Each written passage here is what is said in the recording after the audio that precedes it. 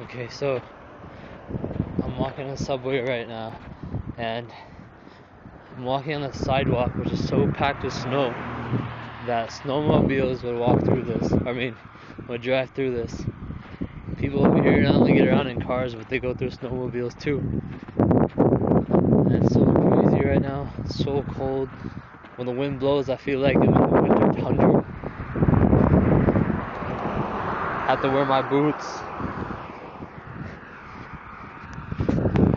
Alright. Oh, here comes a snowmobile too. Oh sh. Oh,